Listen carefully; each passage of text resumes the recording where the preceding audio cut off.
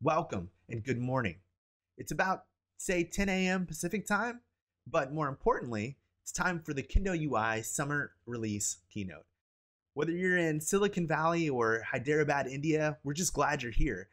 We're honored that you've chosen to spend your time with us this morning, and trust me when I say that this is the best way that you could be spending it. My name is Burke Holland. It's my pleasure to be with you this morning talking about Kendo UI once again. We do three major releases of Kendo UI each year, and I've had the distinct privilege of being a part of every one of them since our very first beta launch back in 2011. Now, before we officially get started, let's do uh, just a little bit of housekeeping. We have a lot of people on with us today, and unfortunately, the internet is sometimes a disappointing place of flaky connections and overloaded circuits. It may cause you to experience some difficulties.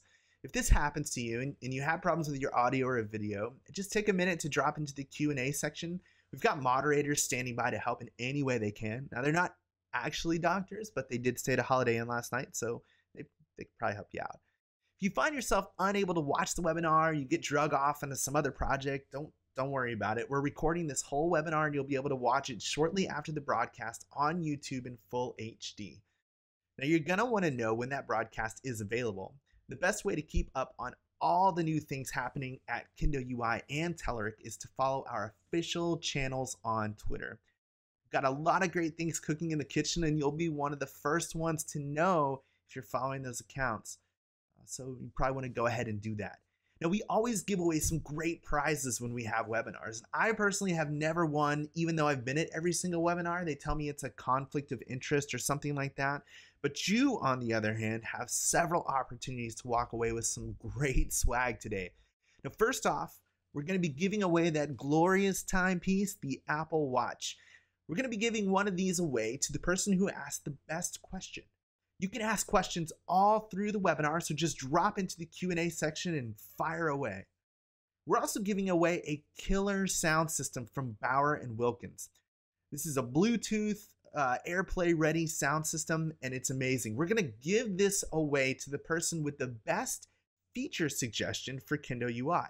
Our PM, Stefan, is on the line and is going to comb through your suggestions very carefully. So, this is your chance to request the feature that you've always wanted to see most in Kendo UI and win a sweet prize in the process. It's great.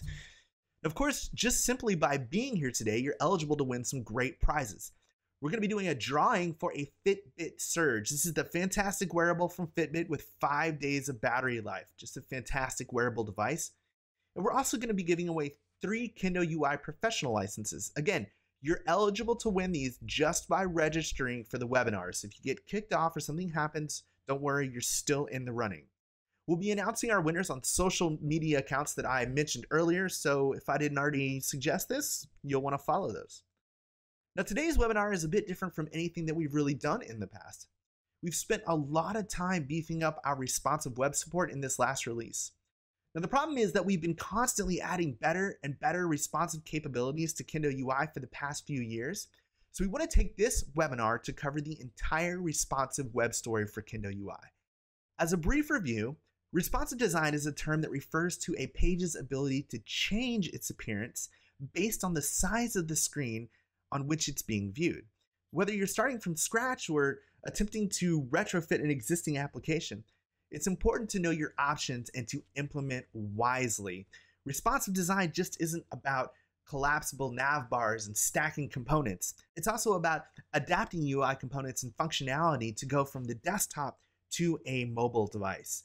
It's about layouts. It's about so much. And we want to cover all of that today from front to back introducing all of the new things that we've put into Kendo UI in this release. Now we've really taken this to heart, starting with our own demos. Our new demos are designed to run on a much smaller screen. While the old demos weren't necessarily mobile friendly, the new ones have been completely redone to be responsive all the way down to the nav bar, even the mobile theme chooser. This is probably also a good time to point out that the Kendo UI mobile demos have been moved. You will now find them under a section called Hybrid, and they always default to the full screen demos of Kendo UI Mobile. So, all that said, let's get started already, right? Okay, to do that, allow me to welcome to the virtual stage Senior Developer Advocate TJ VanToll, who's going to kick it off. talking about layouts and some best practices with layouts and how they integrate uh, specifically Bootstrap and Zurb Foundation with Kendo UI. So with that, I'm going to hand it over to TJ. TJ, the webinar is yours. Awesome. Thanks, Burke. One of the things we're really proud of with Kendo UI is our ability to really seamlessly integrate with other popular web libraries and frameworks. In the JavaScript world, this means libraries like jQuery, which Kendo UI builds on top of, as well as AngularJS, which as of last year, Kendo UI offers official integration with, as well as a multitude of other JavaScript frameworks like Knockout, Backbone, and so forth that you'll find that Kendo UI works really well alongside of.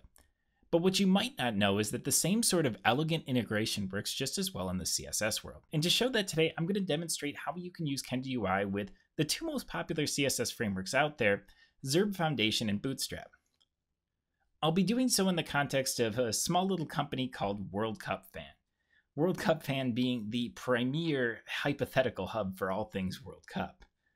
World Cup Fan got a lot of traffic from the recent Women's World Cup, but like me and like a lot of us out there, they're still really struggling with how to best present all this content and all this data that they have on the really increasingly eclectic set of screens that their audience and their, their users have. So what they've been doing is some prototyping with libraries like Foundation and Bootstrap to see the sort of things that they can build. Let's take a look at what they're doing, and starting with Foundation. If you're not familiar with Foundation, it offers a bunch of features to really just help you build responsive sites. This includes everything from media query helpers to visual grids to some small JavaScript components. World Cup Fan has been using this feature to throw together a simple little prototype of what their new site might look like. You can see that Foundation gives them some nice looking tables, a nice looking nav bar here. All of these things are very responsive, so as I resize the screen down here, you can see the table still looks nice. The nav bar collapses into this little menu. But what Foundation doesn't give World Cup Fanner the sort of feature rich and really highly customizable widgets that a library like Kendo UI provides. And to give an idea of what I mean by this, let's add in a few widgets to see how we can spice up this UI. So what I'll do is I'll toss this back over on this side of the screen and bring up the code that makes up this site. What I'm going to do is find the table that controls this schedule, which is actually down over here. I'm actually going to rip this thing out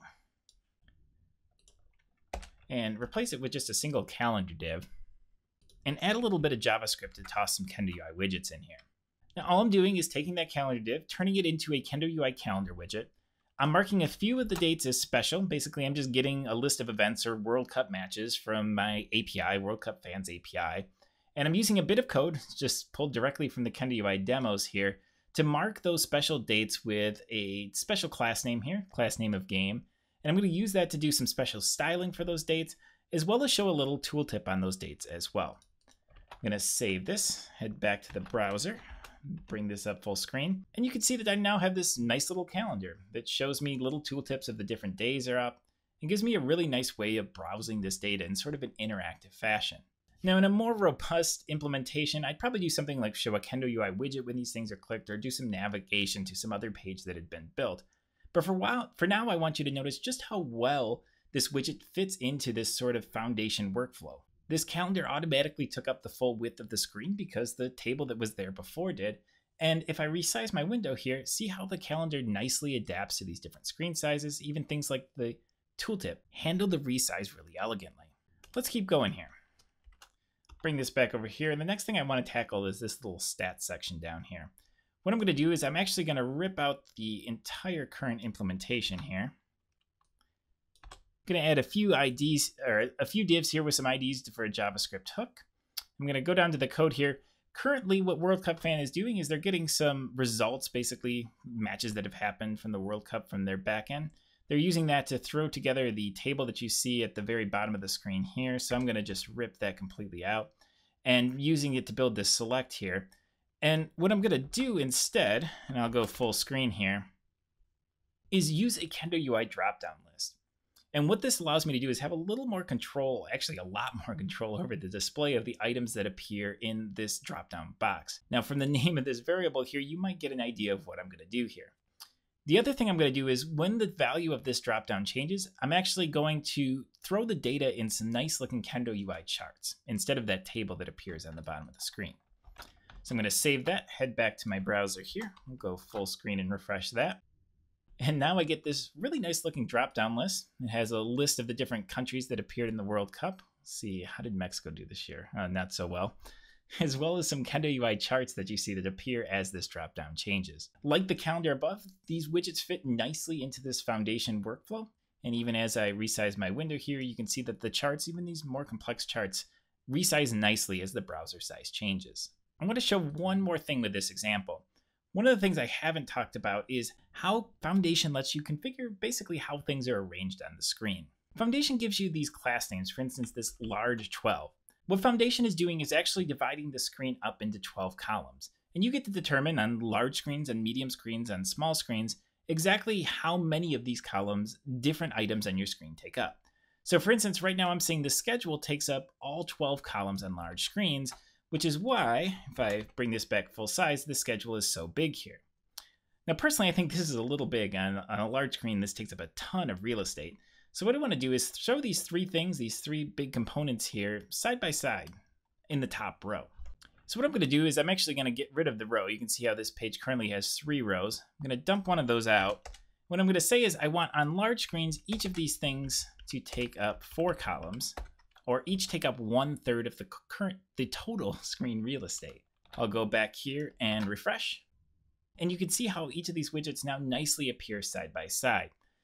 I could also go in and configure what happens on medium sized screens, which is what you're seeing here, or small size screens as well. But the key here is that since these Kendo UI widgets adapt so nicely to these various screen sizes, it's really easy, it's trivial to tinker with these sorts of variables and class names that libraries like Foundation provide to configure your display and to build a really rich interface. This sort of tinkering is also possible with the Bootstrap framework. So what I've done is I've actually thrown together the same sort of example, just using Bootstrap instead of Foundation. You can see the display is slightly different. This is actually the Bootstrap style navbar, which is similar to Foundation, but just slightly different. It collapses into this little hamburger menu here that collapses and expands. The other difference you might notice is in how the Kendo UI widgets work. With the Foundation theme, I was actually using Kendo UI's relatively new material design theme. So it gives this drop-down list this really cool look. But with Bootstrap specifically, Kendo UI actually offers an official Bootstrap theme that integrates directly with the Bootstrap library. That's why, for instance, you can see that the calendar fits in very nicely with this navbar. And all I'm doing to control that, if I go to the code here, is just using kendo.bootstrap.css. It's a little difficult to see the integration with the current UI, so what I'm going to do is actually get rid of this stat section and replace it with a new one. Just a little form here. I'll just save this and show what it looks like. This form is actually kind of a fun aggregation of the best of what Kendo UI and Bootstrap have to offer. If you look here, a lot of these styles are coming directly from Bootstrap. This is a Bootstrap well styles.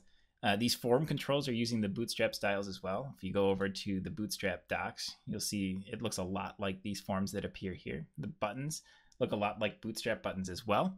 But you can see that uh, there's a few Kendo UI widgets in here as well. This is the drop down with the flags that we saw before, has the nice Bootstrap look to it even this complex editor looks really nice within this bootstrap well. As you might expect, this is, form is also responsive. So as I shrink things down here, you can see that once I reach medium-sized screens, the switch this form switches from a two-column layout to a one-column one, and it looks good even down to tiny little screens here. And like before, Bootstrap offers a similar set of classes that Foundation does to sort of arrange the screen in sorts of rows and columns. It actually uses the exact same class name to build rows on the screens. So I can do the same sort of thing as before and get rid of my row here. And I'll say that the schedule, which is currently taking up all 12 columns on the screen, I'm going to say that it actually just takes up four or one third. And I'll make this well here take up eight or two thirds, just to give you an idea of what this looks like. And I'll resize the screen up to full screen. And you can see now that the calendar nicely takes up one third of the screen and the form takes up the other two thirds overall, what's cool about this is that you can use Kendo UI in the context of some of these popular web libraries that you may already know and love, and that doing so really gives you a best of both worlds scenario. You can use the responsive functionality and CSS components that libraries like Bootstrap and Foundation have to offer, and use the Kendo UI widgets to add in some of this really robust JavaScript functionality, and the two of them fit right in together. But all of this is really just the first piece of the Kendo UI responsive story. For more, I'm going to turn things over to my friend and our resident Kendo UI expert, Cody Lindley, who's going to take things from here. Cody? Thanks, TJ. Like TJ said, my name's Cody. I'm a senior developer advocate working specifically on Kendo UI. I'm going to be covering two things today. The first thing I'm going to cover is basically how to use the Kendo UI splitter in a responsive manner. And then next we'll look at how widgets auto resize and we'll also look at the widgets that don't auto resize and that require us to call the resize method on them in order for them to resize themselves to parent elements. Now, all of these topics will be covered as we build out a miniature application using the Women's World Cup JSON endpoints. As you can see here, we have a couple different endpoints that we could be using. Uh, we're specifically going to be using the endpoints that list out all the teams and all the results for each individual team. We'll use both these sets of data to create a user interface. And as you can see here, we, we have basically all of the results for each team. And you can filter these results based on each individual team. Now that's kind of a peek at what we're going to build. This code's actually immediately available. It's at a JS bin, so you can go grab it if you want and follow along with me. If that URL is a little bit small for you, actually paste it into a text file. There we go, that's a little bit better. Go ahead and follow along with me if you want by visiting this URL. You have all the code available to you immediately. Okay, let's jump in and start looking at some code. Going to minimize this browser window so we can work with it a little better. Jump over to the HTML page we're going to be working with. And as you can see in Sublime here, it's a pretty standard HTML document. We, of course, are have Kendo UI and jQuery um, being included. Uh, I'm also using one style sheet, and I'm also using one JavaScript file. So the first thing that we're going to do is actually put the all-important World Cup fan logo into the page. Now, you'll notice that this image that I'm putting into the page is styled with a width of 100%.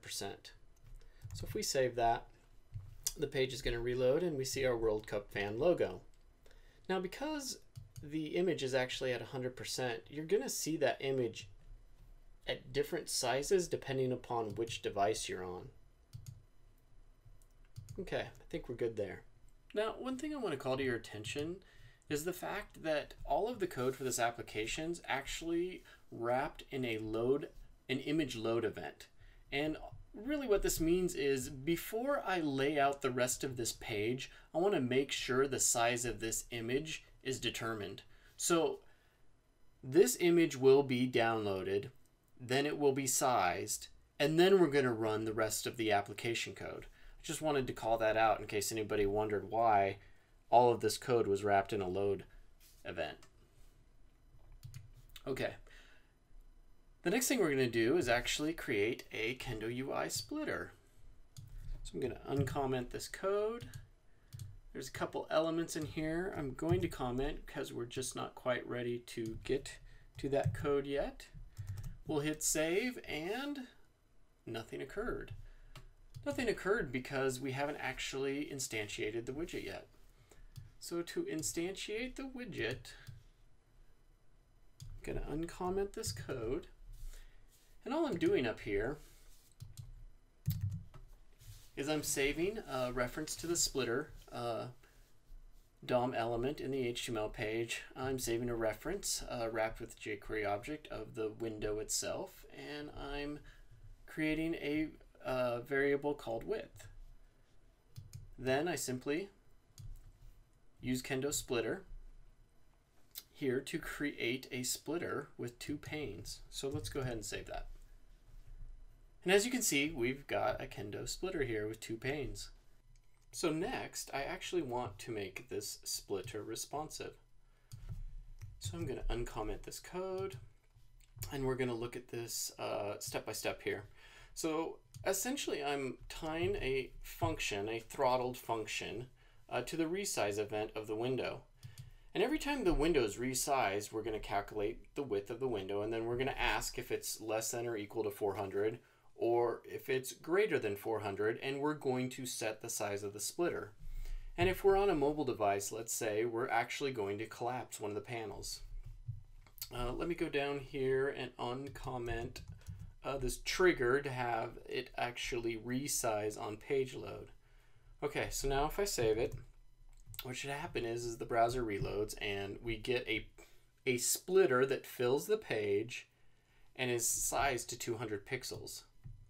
That's exactly what we're after. But of course, if we go over and look at it on a mobile device, uh, the pane, a mobile device being less than 400 pixels in width, uh, the pane's actually closed. So that's exactly what we want. One thing I forgot to call out here is the fact that the resize event on the splitter widget is called every time the browser window resizes. And the reason that that is, is that the splitter widget isn't an auto resizing widget. In other words, uh, when the parent element, or in this case, the body element in this HTML page, changes its size due to a browser resize, we have to tell the splitter that a resize occurs, and then the splitter will adjust itself after that resize event is called. Oh, I, you know what? I just noticed that I don't need that grid resize yet because we don't have a grid and I already have a window reference that's wrapped with jQuery. So I think I'm going to save that and I think we're good. Okay. So the next thing we're going to do is actually add some buttons to one of the panes. And in order to do that, I am going to uncomment this Teams div. Now, it's this Teams div. Actually, let me uh, comment this button. We don't need it yet. This team div is actually where all a list of all the teams is going to live.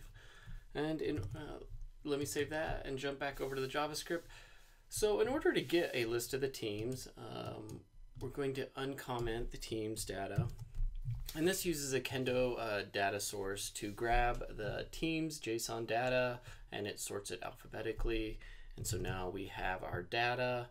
And now I'm going to go down here and uncomment this view model uh, that we use in an MVVM pattern. So here I set up a view model where I store my team's data. Um, and of course, we have a, a function in here that uh, when the buttons uh, in our list are clicked, the select team function fires, and this will affect our grid that we haven't created yet.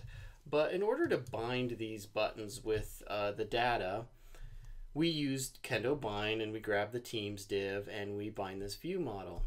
So let me jump back over to the HTML and just explain this a little bit more. Uh, when the JavaScript runs, essentially, we're binding this uh, view model here to this div. Uh, and I'm binding the source, the team's data source from our view model. I'm using this template down here. Now, here is where the button's actually created. This this this anchor represents the buttons, and it automatically occurs for us that a button's created, a button widget using this data role button. So, as you can see here in the browser, we have our buttons. Now, actually, these are just the filters, so we still want an all button to undo the filters once we start using them. So I'll uncomment that. And this is our all buttons. I'm going to jump back to the JavaScript. And we need to find our all button. Here we go. So we'll uncomment that. This creates a button uh, that allows us to undo uh, the filters that we apply. So now I think it's probably time to create the grid. So what I need um, is the data for the grid. So we'll uncomment the team's result data. I'm kind of doing the same thing here, creating data source from the JSON uh, team's results JSON API. Uh, we're going to sort it alphabetically. And then I also need to create that grid and pass that data to the grid. So if we hit save now, what we should see occur. Oh, I think I forgot to uncomment the. Here we go. We've got to have the div for the grid. So now, if I press save, there we go. We see the results for each team. And if I click on a particular team, we're just going to see the results for that particular team. And if I click on all, then we'll see all the results again. One of the things I want to mention here is that this filter is actually filtering the data source. And when that data source is filtered, it actually updates the grid. It sort of happens for you um, automatically, uh, which is a really nice feature of the data using data sources with widgets. Okay. So the next thing we're going to do, uh, let me jump back here and make sure it is uncommented. Um, we need a filter button so that when we're in a mobile mode, uh, we actually hide one of those panes. So I'm going to uncomment that button. I'm going to hit save. And now we should see a filter button up there, but we don't because I need to uncomment the code that instantiates that. So there we go. Here I'm creating a filter button. You see it up here in the corner now. And when I click it, it hides the pane. Just toggles that pane. And of course, on a mobile device, this is really nice because uh, when we pull it up on a mobile device, our grid auto resizes, um, our pane is hidden. We can open up that uh, pane with our filters. And the one feature that I have going on here, if uh, you're on a mobile device, is that it actually closes the pane when you make a selection. So if we go back here to all, we can see all of our results and it works perfectly on a mobile device and it works on the desktop. Um, this is all taking advantage of some of the Kendo UI widgets, uh, and I'm also showing code that you know deals with the fact that some of the widgets will auto resize, like the buttons, and some of the widgets won't auto resize. Uh, for instance, the splitter or the grid here. Um, if you're curious which uh, widgets auto resize, resize and which don't, I'm showing a list here. You can find this document in the Kendo UI documentation. And I think that's pretty much it for me. Jen, take it away. Hello everyone, my name is Jen Looper. I'm a developer advocate at Telerik, and I'm really excited to talk about the adaptive nature of some of our Kendo UI widgets. So far, we've talked about all the awesome tools that you can use to make your sites respond well to a screen resize. Kendo UI widgets actually are a really great helper for this task, but what about those widgets that just don't work that well at a smaller size? You really shouldn't have to sacrifice features for pixels. In order to have it all, you have to take your app beyond responsive design. You need adaptive design. With adaptive design, you're going to make sure that the widget provides a great experience even on quite small screens. Kendo UI is smart enough to know what works on small screens and flexible enough to allow you a lot of leeway in how you manage the resize. I created a SPA, a single page app, using Kendo UI's toolset for building websites. By using the Kendo router and its SPA framework, I can easily create a single page app that doesn't have to refresh the page in order to load new content. The use case here is to create a website that will adapt to mobile screens. Let's talk about Kendo's adaptive widgets that make this job a little bit easier. Okay, let's get started building up this website. First up, we have a responsive panel that's tailor-made to enhance a mobile experience. This is the panel that's a left nav or right nav on larger screens, but it collapses and shows a hamburger icon on the smaller screens. First, we initialize the Kendo responsive panel widget in our JavaScript file, transforming our sidebar div into a panel. And note that there's a breakpoint there and width. We add some extra media queries in our custom CSS to ensure that the sidebar looks great when the browser width hits 1000 pixels. And then we go ahead and build up the sidebar just as a set of links to create a left nav block. And we add a button that's going to be our hidden hamburger icon. And you can change the orientation of the button in the panel to account for right to left layouts as well. Just change the Kendo responsive panel's orientation from left to right, change your icon text button's float from left to right, and voila, your website is flipped and your navigation now flows from right to left. Let's add another adaptive widget to help this site's navigation. I think we need a toolbar. It's easy enough to add a toolbar by specifying a div with the ID toolbar, and then by initializing that toolbar in the JavaScript file with all the buttons that you need listed out. Okay, so far so good. Let's check it out on a mobile screen. Uh-oh, that's not great. Let's fix it. I'd actually set the resizable flag to false. I was being a little sneaky so that the adaptive resizing couldn't happen. But if we remove that flag, we see the very nice adaptive nature of this widget. It looks great now. All the buttons we can't show horizontally collapse into a hamburger icon button and it looks really nice. And this example actually shows how some widgets are adaptive out of the box, but you can control that aspect of them really easily.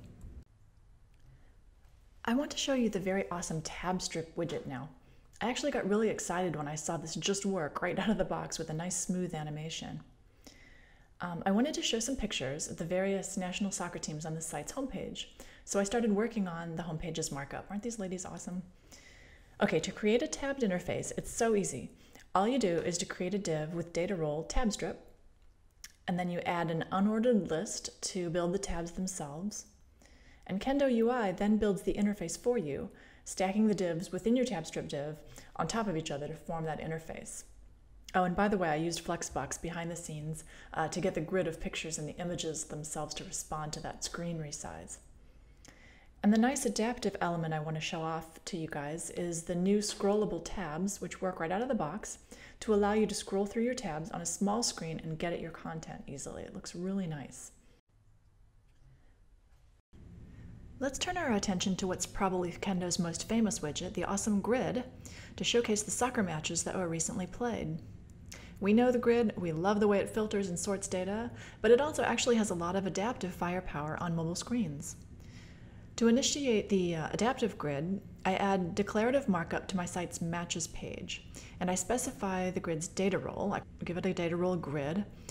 I add the data columns that I want to show, and I set the grid to be filterable and sortable. I then, I then bind a data source to it. The data I'm using is coming from an external API, which is essentially a bunch of JSON formatted data about these teams and the matches. I'm reading in the data and setting its page size to 10 just to speed up the grid's rendering. Okay, let's take another look at the grid markup. Notice that we're setting a min screen width attribute of increasing values. And what we're doing is telling the grid to always show the field country, but to only show the FIFA code if the screen has a minimum width of 550 and so on. Essentially, we want to see more columns of this grid as the screen size increases, rather than trying to smush all the columns into a small space. Okay, let's take a look in a simulator. I'm going to use a different Chrome extension so that we can have some more options. So how is this thing going to look on a, on a BlackBerry? Hmm, how about an iPhone 4? It's not too bad. So you have a lot of control over what columns the grid will show depending on the width of your screen. One widget that's similar to the grid but is actually really useful on mobile is the tree list because it can compact data so easily. So for this demo, I had to mock up some team data, again looking at the relationship of players to teams because I wanted to show team rosters in a tree list format.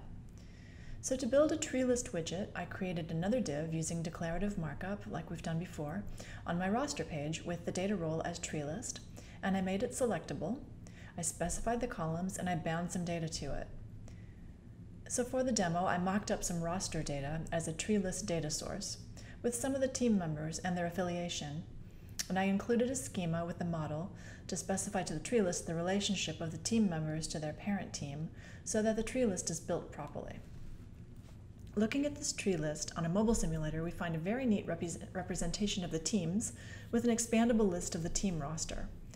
Notice the way the columns are automatically truncating the long text in the columns, adding an ellipsis where appropriate. When the data is expanded, the same thing happens. The data is automatically resized.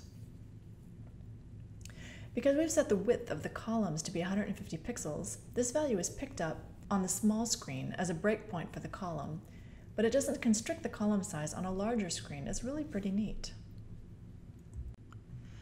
Our website needs a way for fans to schedule events. So let's take a look at the scheduler, which is a really powerful calendar and agenda widget with all kinds of bells and whistles, including choices of buttons, pop-up windows, and all kinds of date manipulation behind the scenes. So to create a scheduler, you can just add a div with some declarative markup, giving it the data role of scheduler, specifying what views you want to show and binding it to data for your date. In our JavaScript file, we can bind to external data to manage our tasks, although for this demo I haven't done that as I just want to show you how the scheduler adapts to a screen resize. So notice that as you resize to a small screen, the month and agenda buttons compress to a drop-down, and the window for scheduling events resizes itself automatically, and all this adaptive goodness is out of the box. Kendo UI has beautiful animated data visualizations, and I'm short on time, but I want to just show a few charts and mention their adaptive possibilities. If we want to show results in a pie chart, it looks phenomenal on a mobile device. And a line chart looks just as good. To ensure that your data fits nicely on a mobile screen, however, you're going to need to add a little JavaScript to ensure that the labels are slanted slightly down. This sort of adaptive feature isn't handled out of the box, but you have a lot of control over what you can do to a chart to make it look even better on a small screen. Okay, last but not least, we have a nice little editor widget that has a surprise up its sleeve. Since our fans want to submit fan fiction, I have no idea what that means, we need to give them an editor for their writing. The Kendo editor has a great feature that allows you to add as many buttons as you like in your markup, and when the screen size is reduced, they collapse into a hamburger icon. To create an adaptive experience for users of this widget on the smaller screens, all you need to do is declare all the buttons you want to display, and then add to your declarative markup the configuration data resizable with the toolbar set to resize. And like magic, the buttons of the editor collapse into a hamburger icon as you resize the screen. I hope you've enjoyed this whirlwind tour of the adaptive widgets in Kendo UI. Next, you'll hear from John Bristowe about some of the goodies we're delivering on the mobile side. John, over to you. Thanks, Jen. Hello, everyone. It's great to be here. As Jen mentioned, I'm going to spend a few minutes highlighting features and improvements we've added to the mobile story of Kendo UI. I'm also going to show you the best of the rest of what we've added to this latest release. Let's start by talking about Kendo UI for mobile. If you've used Kendo UI to build mobile apps, then you know that one of the things it does really well is something called adaptive rendering. This is where widgets adapt to the look and feel of the operating system for the device on which they are running. Sometimes, though, you don't want that. You want an app that looks the same everywhere. For this case, you can use our flat mobile theme, which we introduced back in July 2013. This theme is designed to provide the same look and feel everywhere, no matter the device or operating system. It also improves UI performance by about 30% because there's no need to render drop shadows or other ornamentations. With this release of Kendo UI, we're introducing an entirely new theme, and it's one that I really think you're going to love. We call this theme Nova, and it brings a fresh new look to the applications you'll build. Nova was inspired by the latest trends in mobile app design. It sports a clean look that's complemented by a set of new icons and rich typography. From buttons to drawers, forms to nav bars, we've carefully considered how to improve the interactions of each widget with this new theme. Now, the good news is that Nova is easy to use. Simply specify the theme you wish to use, and you're good to go. Let's jump over to a demo to see how this works. Here I have a simple app using Kendo UI. As you can see, it utilizes familiar widgets and their adaptive rendering that's part of Kendo UI for mobile. Using an alternate theme turns out to be pretty simple. I can simply specify the skin I wish using the configuration you see here. So I'll specify this to be flat, and you can see the result of that change occur here. Now, I want to update this application to Nova. To do so, I'll simply update my skin and refresh the view to see the changes. It's also worth noting that this new theme will be integrated into hybrid mobile projects you build with the Telerik platform, so stay tuned for that. Speaking of themes, I'd like to take a moment to talk a little bit about the Theme Builder tool for Kendo UI. The Theme Builder was one of the first tools we introduced back when Kendo UI first shipped. It's a powerful tool that enables you to quickly customize the look and feel of your Kendo UI applications, and it's been used by many of our customers. With this release of Kendo UI, we've decided to give the theme builder a bit of a makeover. We've redesigned the interface, as well as provided the new themes that have been integrated into Kendo UI. Once you've finished your customizations, you can download the theme and apply it to your application. Next up is an important update for our customers working on government and federal projects Section 508 compliance. As you may know, we've put a lot of work into ensuring that Kendo UI provides great support for accessibility out of the box. Over the last few releases, we've introduced a number of improvements, including ARIA support, keyboard shortcuts, support for right to left languages, and a high contrast theme, just to name a few. I'm happy to announce that with this latest release, all widgets are fully compliant with Section 508 accessibility requirements. Being in compliance with Section 508 is essential for tooling used by government and federal organizations. So great news on that front. Next up are a number of features we've added to the grid and tree list widgets.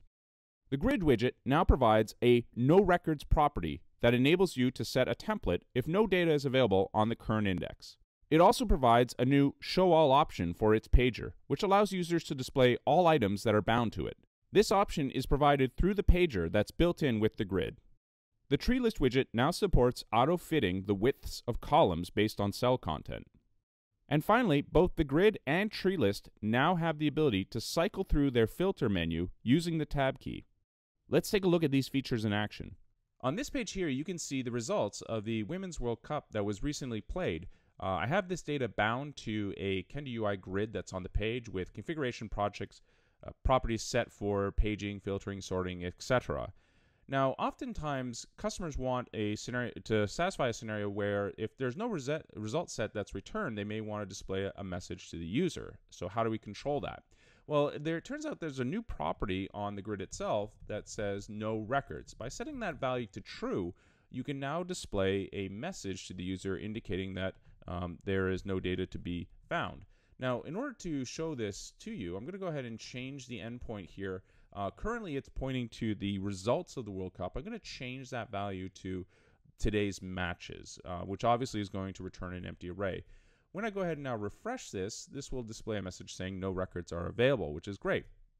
Now, I may want to control this a little bit more.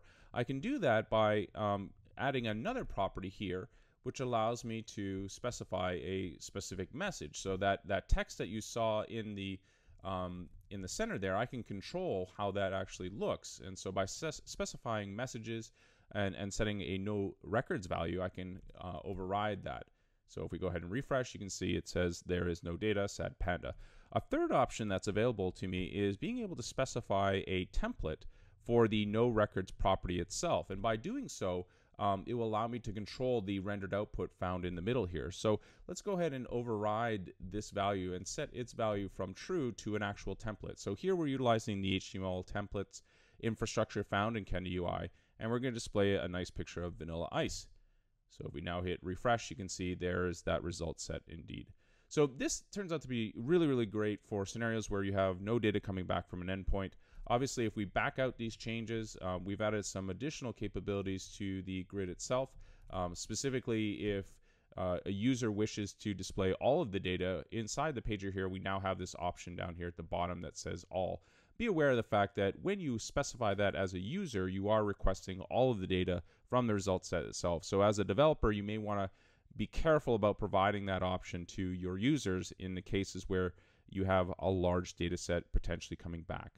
Finally, I'd like to talk briefly about two improvements for customers leveraging Kendo UI with ASP.NET MVC and Visual Studio. In my view, there's never been a more exciting time to be a .NET developer. That's why I'm happy to let you know that Telerik UI for ASP.NET MVC supports ASP.NET vNext and the up-to-date versions of .NET 5, MVC 6, and Visual Studio 2015. Furthermore, we remain dedicated to our commitment to provide official support for these products shortly after RTM. I'm also happy to announce that Telerik UI for ASP.NET MVC Beta is available as a public NuGet package on NuGet.org. The feed is especially useful for .NET 5 and MVC 6 projects where NuGet package management plays a central role for referencing third-party products.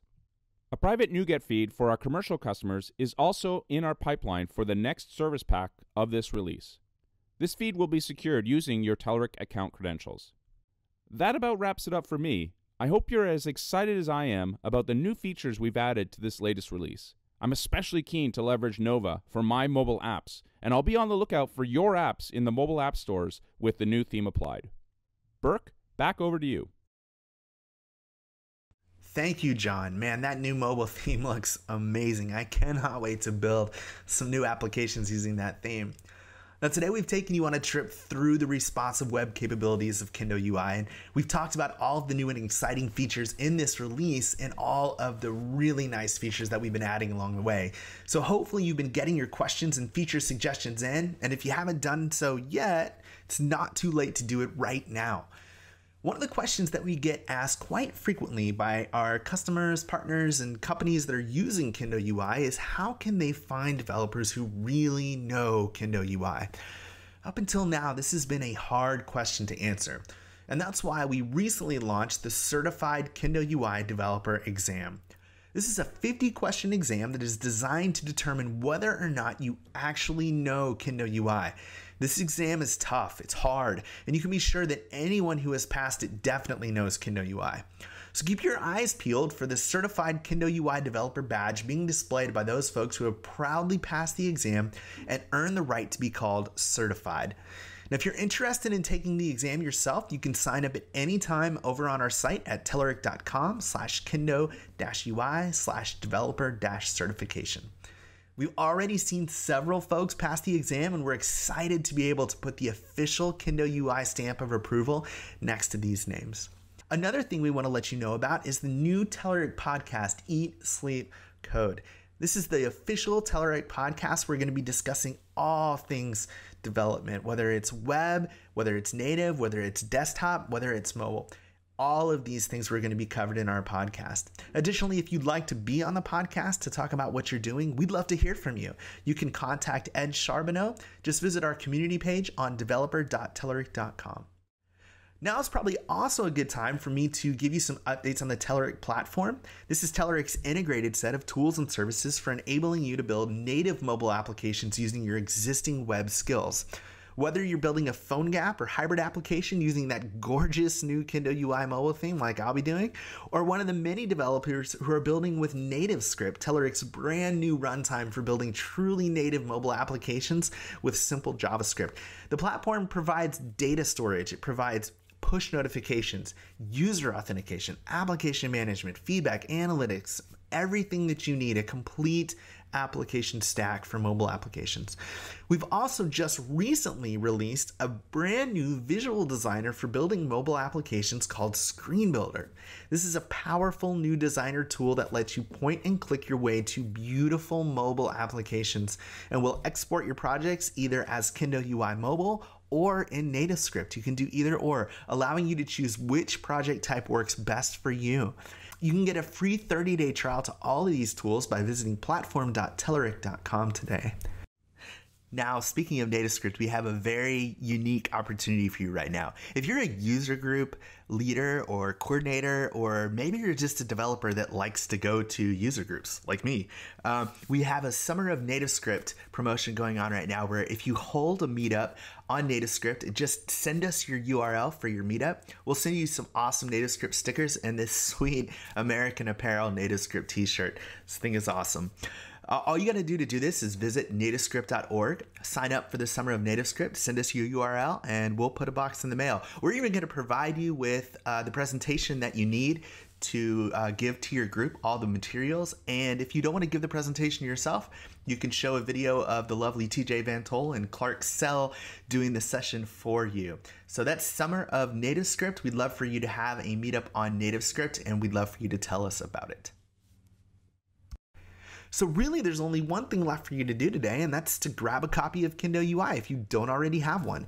You can get the free and open source version of Kendo UI Core from GitHub with all of the core framework features and 22 widgets. It's a complete UI framework, completely free to use however you wish. You can get Kendo UI Professional for $6.99 from the site. And don't forget about the ASP.NET MVC wrappers for Kendo UI. These include request and response serialization, some language integrated query extensions to make your LINQ queries very simple, um, and complete integration with MVC. So if you're an MVC developer, you'll definitely want to pick that up. You can grab that for $9.99. With that, we're going to transition to a bit of live Q&A here. Thank you so much for joining us for another massive Kendo UI release. You'll hear a bit of a cutoff here as we transition off this single webinar line into a shared connection. We'll catch you on the other side.